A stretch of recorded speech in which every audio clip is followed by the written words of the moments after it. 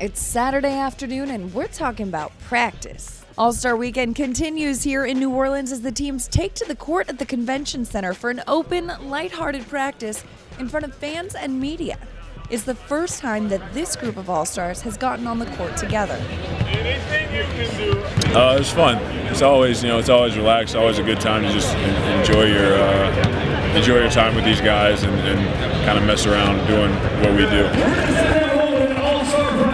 It was cool. It was cool. Um, you know, it's funny to talk about it with Dirk and, and Tony. I was sort of like the third, you know, elder statesman out there. So it's kind of crazy how it all goes fast, but always grateful and appreciative.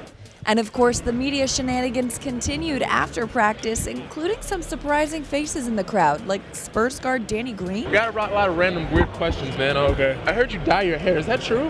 I know that's actually not true. Never dyed my hair. I heard that you were trying to be like Matt Bonner. and that your hair is not naturally red. I, I do try to be like Matt Oh. Bonner, but on my own terms. You're getting your jumper there, man. I see you on your way, man. Congratulations. From New Orleans, I'm Madelyn Burke for LAC TV.